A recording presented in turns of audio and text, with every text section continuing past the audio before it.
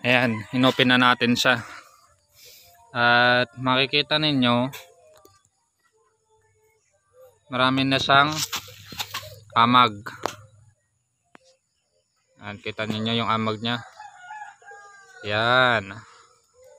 Yan yung amag ng bulba. Tignan nyo, ang kapal, oh, ang kapal ng amag niya. Oh. Hmm. Yan yung amag ng bulba. Ganda ng amag niya. Yan, pati dito rin. Oh. Pati dito oh, sa may baba. Oh, tignan nyo. Oh. Mayroon din siyang mayroon din siyang amag sa baba. Nagkaroon ng amag. Ayan. Oh. Ayan. So may mga amag na siya.